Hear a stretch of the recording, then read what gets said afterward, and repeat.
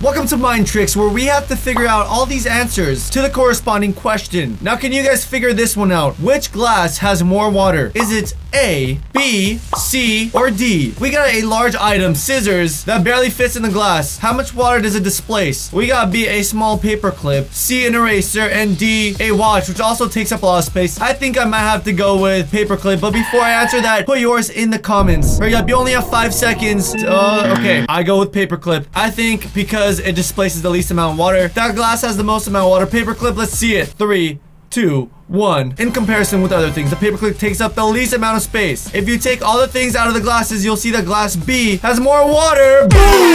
Let's go. So these mind tricks are designed to make you guess the wrong answer, of course. That's why they're called a mind trick. And welcome to reaction time. We're gonna try all these mind tricks together. So let's just jump right into it. Next question, can you find all these things in the picture? Okay, let's zoom in, enlarge, focus. Um, is that an eggplant? Okay, I guess I'm just gonna look through Eggplant. Boom! Found it just from the leaf. Watermelon. Oh, yeah. The cake.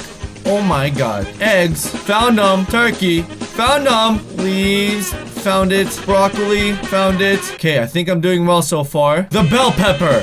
Where is the bell pepper? Uh... Oh, got it. Guys, I pretty much I pretty much found all of it. Did you guys find all of it? Let's keep looking. Is this a horseradish? Is this a turnip? I don't even know what this is. How could this happen? And the garlic cloves. I think it's gonna be the hardest one to find. Garlic cloves. Where is it? Where is it? Oh, got it! Boom! Okay, I think I'm, uh, I got this question right. But if you guys want to try out for yourself, if this was a bit too fast for you guys to get all, it's gonna be in the description. First link, you can go check out all these mind tricks. Now let's look at some more. Which figure should replace the question mark? What is this? I don't know what this is at all. Okay, impossible. I already think I lost. I only got two right so far. Out of three, this is gonna be wrong because I don't even have an answer.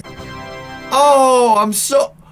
Guys, are you serious? It's mirrored numbers to create a shape. One, two, three, four, five, six. I didn't even try to think outside the box. Mind trick. Let's look at another one. So far, I only got two right, one wrong. Can you find a totally symmetrical cross in the picture? Symmetrical cross. Uh, what do they just mean by this? No, God! I don't know. What, what do they mean by symmetrical cross. I mean, it's the only thing I can see that's crossing. Anything else? Nope. Nope. I'm, I'm guessing it's this area. Everything else hurts my eyes. Let's see it. What? Uh, okay. Is this is this what they're talking about? They were talking about the shape. They were talking about a full shape. Okay, so I guess I got this one wrong too. I would have never guessed it. I already showed you guys the answers, so you can't really answer this one. It was, oh, this hurts my eyes. Okay, it was like this. It was boom, boom, boom, boom, boom, boom. boom. I got wrong. Damn it. One of the spirals consists of two separate parts. Can you tell which one? What? Okay. There's two parts right here. I see it in the middle. It's just really hard to track. Wait, what? No, it's not. It's not this part. No. Oh my god. Okay, one. Two. No, it just does. Okay, if we were to race it, it would be right here. It would be right here and go around. So it's the outer part versus an inner part, if that makes any sense whatsoever. Yes, that's what I said. An outer part versus the inner part. I hope. A perfect four-pointed star, like the one on the top of this picture, okay, this one, is hidden among the squares and triangles. I'm just uh, gonna do my eyes like really, really... Okay. Just keep squinting. This hurts my eyes so bad. What if I get like, what if I pass out? We use this. We use this and this.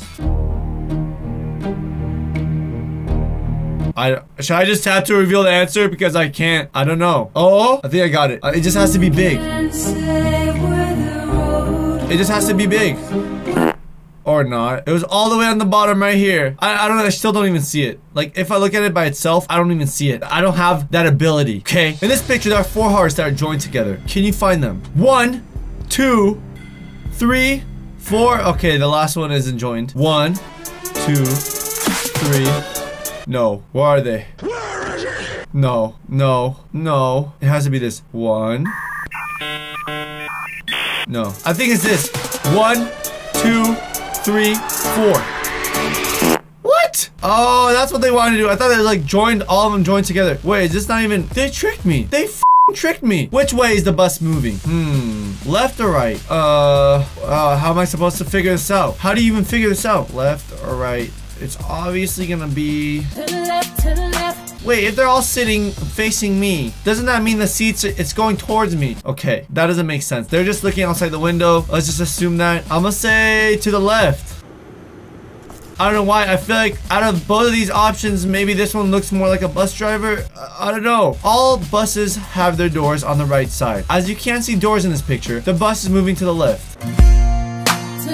No! God, please, no! I got it right for the wrong reasons. It's actually moving to the left only because I assumed that this looked more like the bus driver than this girl, which is kind of messed up, but it was actually just a question about where the door is. Well, at least I got it right. And finally, the last question. Can we get this right? Let's see it. Teapot A can contain 32 cups of tea. That's a lot of tea. How many cups of tea can teapot B contain? Let's see it.